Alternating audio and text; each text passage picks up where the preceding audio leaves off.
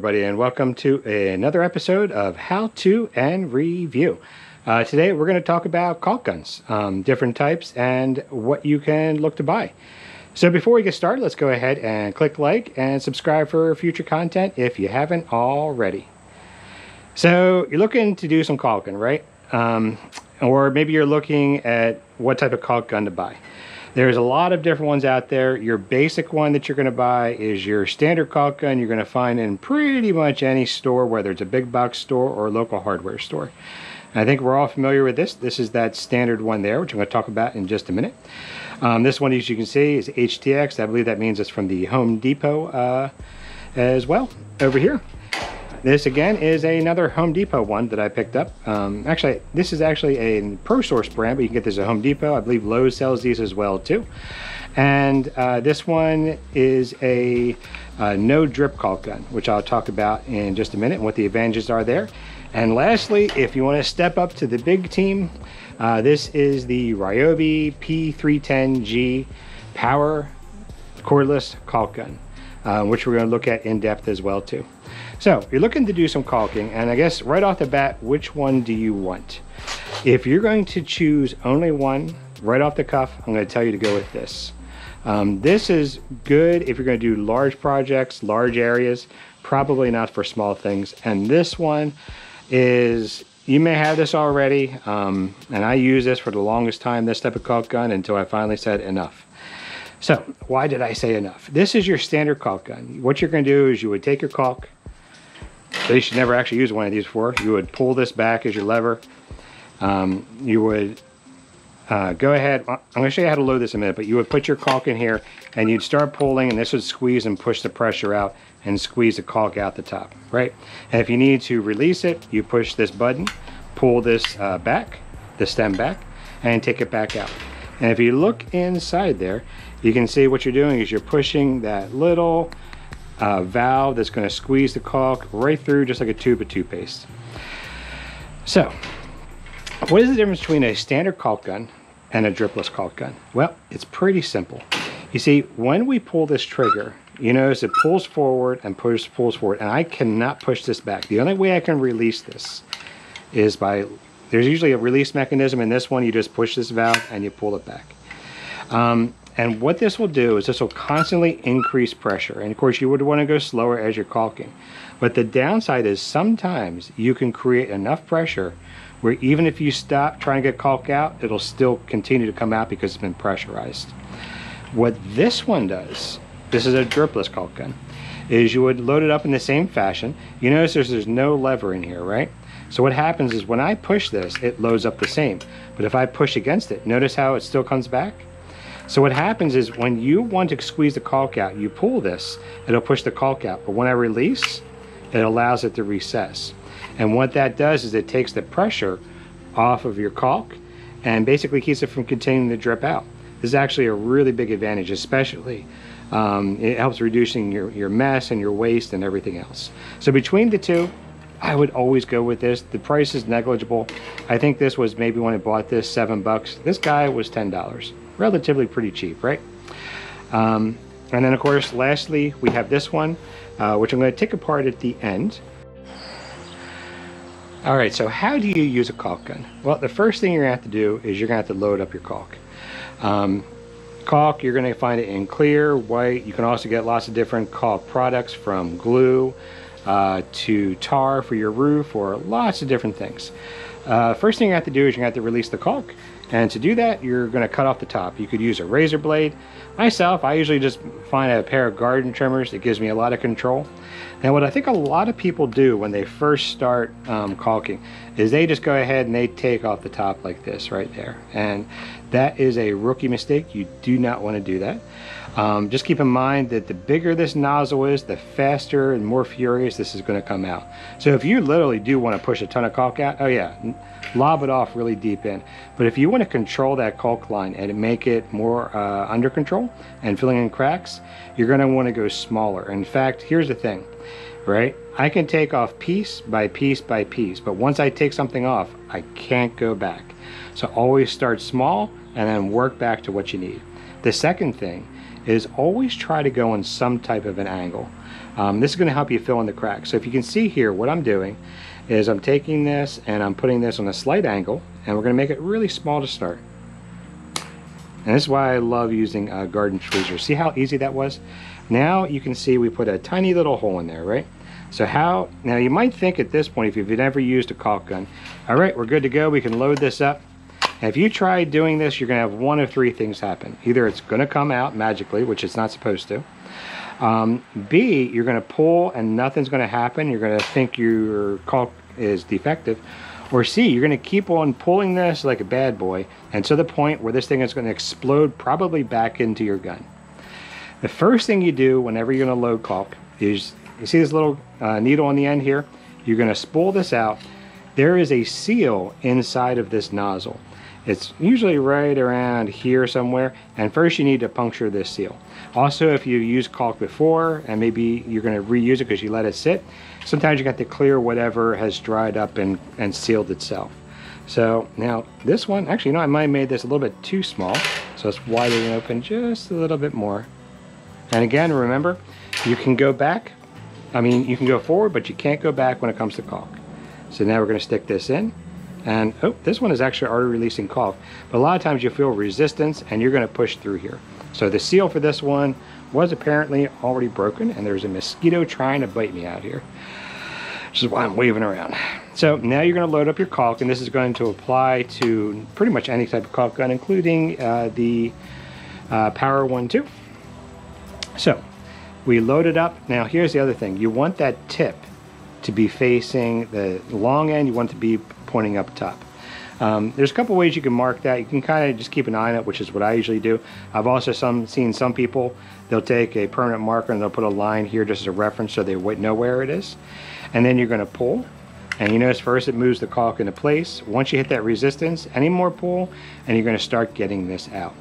The second thing you're going to need before you start caulking, stop and get yourself some type of paper towel.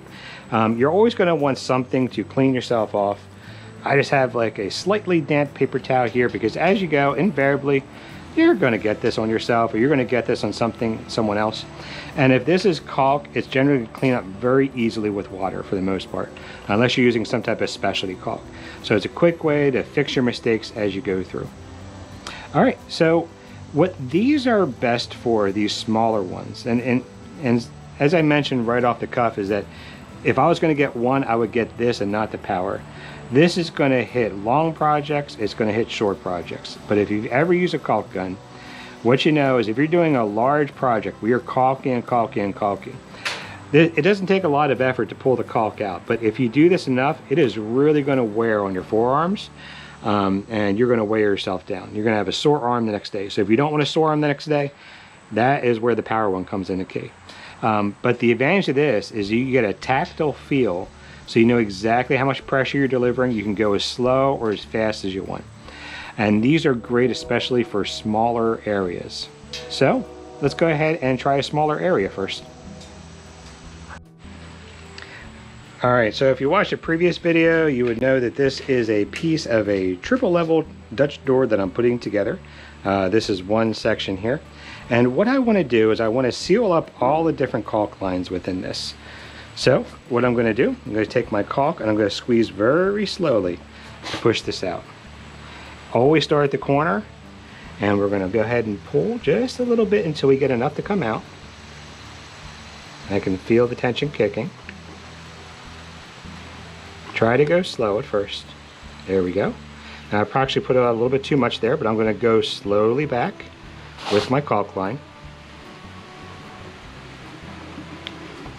and release back into the corner there. All right, so let's try that again. Go over here, squeeze in, nice in a nice, smooth, gentle fashion. Take your time. Just go straight back into the corner. Once again, you notice I'm double checking to make sure I have my point facing up. I go back, squeeze just enough, take my time, go straight back, into the corner.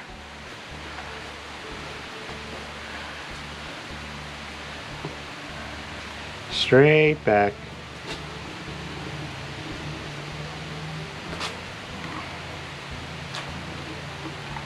Into the corner. Now this is for a shed, so I don't have to be super precise, but I think that's pretty good. Um, something you can also do too, which I'm sure you've seen everyone do, or you just naturally done it yourself, is if you want to go through and smooth this out, stick your finger. Now, technically, the better way to do this is you want to get a little piece of plastic, me, but don't push hard, just push very lightly. Take your time. and if you want to, use more than one finger, all right? And that's going to smooth out that line again. Now, you might be tempted, and I used to do this too, is if you see that you missed a spot, which I, which I can see that I did, you might be tempted to take your finger and go, if you do that, it's going to get everywhere. I know that from experience.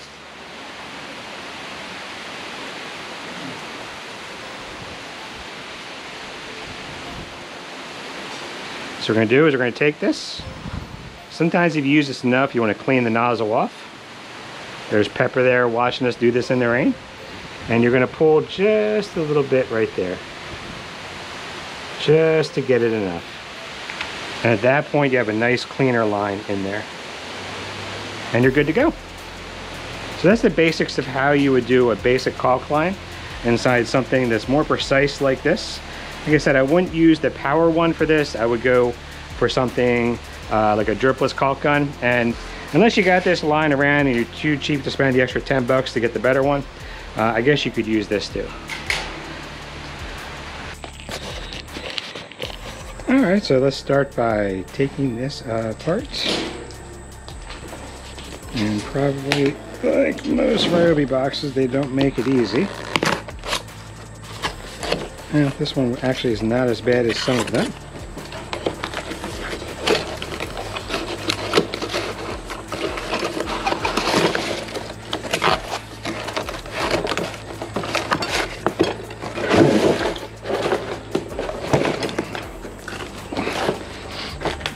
All right, so what we, yeah, it's in there pretty secure. And I don't see that it comes with anything else except for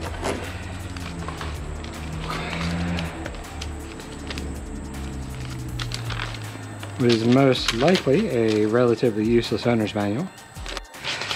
So it comes with a manual course, but I find that these manuals for Ryobi are pretty subpar at best, um, which is probably why Ryobi often has videos on how to use these things. Um, as we can see here, it looks like this, not sure if this is speed or pressure, and obviously this is going to be pulling back, correct? Ah, if I understand correctly, this only has... Well, we'll have to see what this does. So let's go ahead and get a battery. Alright, so let's go ahead and plug this in. I just have uh, one of my 4 amp hours with me, so I'll go ahead and put that in. This is probably quite a bit overkill for this. So we went ahead and we pulled this back, and see what happens when we pull. And you can see it is squeezing out. And if we do this, ah, so this is the speed, slow, pretty darn fast. It's actually good. And this is a lock basically. So if you do this, you can't pull it. Um, now I wonder if there's anything in here that says what you're supposed to do when you pull back. Uh, let's take a quick look through here. Again, these things are relatively useless. Uh, lock the switch trigger by sliding the switch up. Use a utility knife. And I do see that there is a caulk popper in here as well too. So it seems pretty straightforward. It's actually kind of good that you have a speed control. I believe the previous models uh, did not have this. You got basically everything at once. So this is actually pretty good. So let's see how this actually works. All right, so what we have here is just some standard DAP uh, Alex Plus, uh, similar to what we were using earlier in the uh, uh, no drip caulk gun. It's manual. And this one right here, the only difference really is this is clear. Uh, so let's go ahead and load this up. And again, when we cut these, you want to go on an angle. And you always want to do a little bit more rather than, or a little bit less than rather than a little bit more, because you can't go back. So let's go ahead and pop this to see if there's a seal in here. Uh, you know, I don't like that. I, I wish this would lock in place. This, literally having to hold this is kind of a pain. And there we go, we just released it. Lock this back in.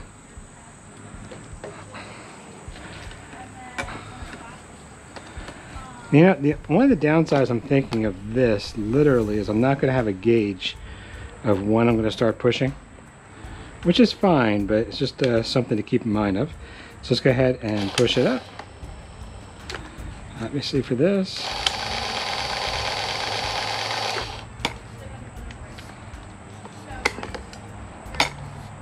And you know, it's kind of big actually for a caulk. I guess it'll go inside. There it goes. All right, so let's go get caulking. And we have this locked in. And again, this is the garage project that I'm working on. Um, we put up all the trims. So at this point, we need to go through and start caulking up all the, these trims that we created.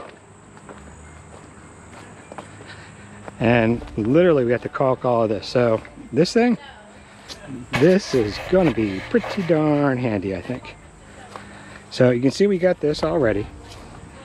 So let's go to, over to the fresh areas and let's give this a try. And the great thing is this is the one my shed, which, wow, that thing is amazing. This might be my new favorite toy, actually. Wow. I don't my new favorite toy, but this is pretty awesome. You know, one thing I like about this, too, is that it really comes out pretty uniform.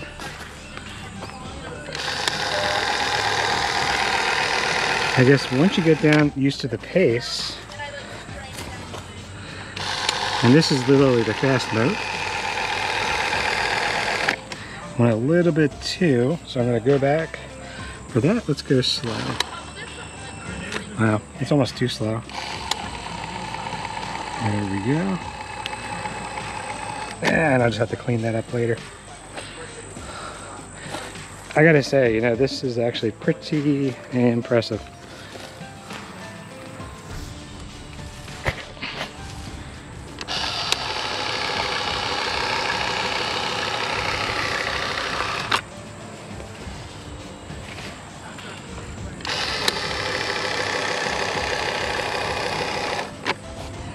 I almost have it coming out too fast, but that's okay. Because we can literally go back and clean this up later.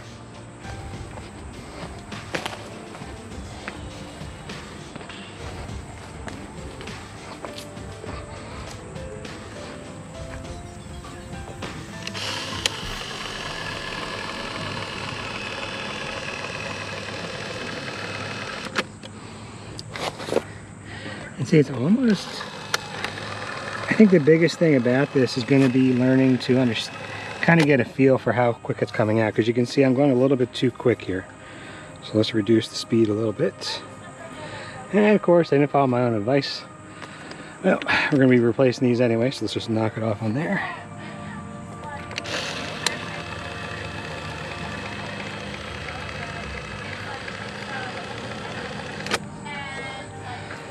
Wow, this is so nice.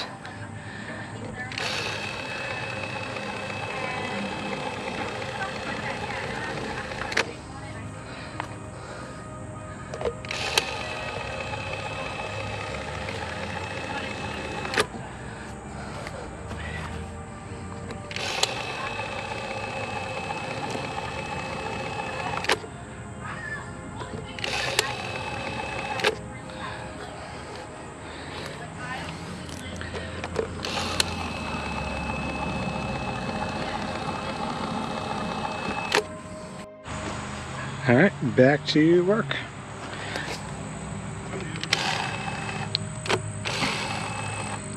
And I guess that means that I am done. So I guess when it stops working, that is your indication that you are out of caulk. All right, so we looked at a number of different caulk guns here. We looked at the traditional one, the smooth rod caulk gun, which I bought at Home Depot, which is I think probably what most people buy where you manually pull this out and release it um, the old-fashioned way. Um, and these do work fine. I mean, I think this is the upgraded way to go, which is the dripless, uh, where if you push, it'll automatically push back. Um, the downside of this too, uh, though, is that if you do push it up, you want to keep it here. It's not going to stay there. Um, but overall, I'd say go with this. And of course, as with any caulk gun, um, you know, no matter what you do, you're eventually going to get some type of leakage in the back here.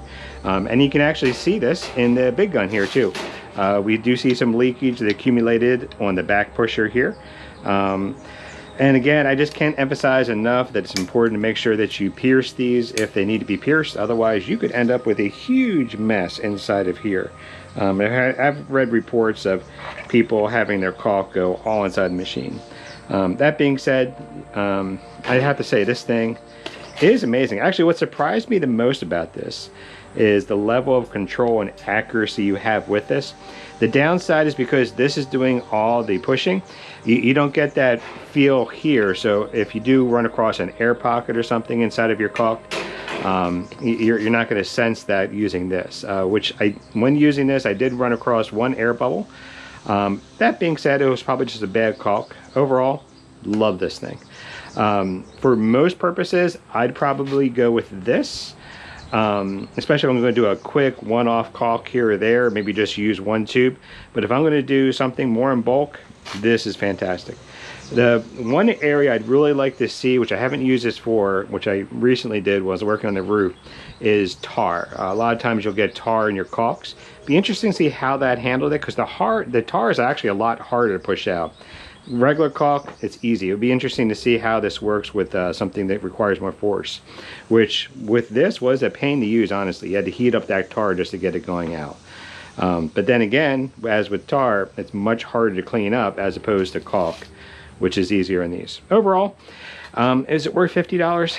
I don't know. I think myself, I think it is, but um, that kind of is at that threshold of, you know, is it worth replacing a five or ten dollar tool with something that's fifty dollars when you're not going to have the absolute control. While this is an upgrade for large jobs, I'd say this is actually an upgrade uh, for smaller jobs. And again, as I mentioned earlier, I actually recommend you get both. So overall, that's my review of the Ryobi caulk gun, uh, model P310G. Hope you enjoyed it. Um, if you have any comments, please leave them in the comment section below. And uh, we hope to see you in future videos. If you did like this video, please click like and subscribe. I try to upload as often as I can. And until we uh, see you again, get out there and make your own great outdoor adventures. And as always, take care.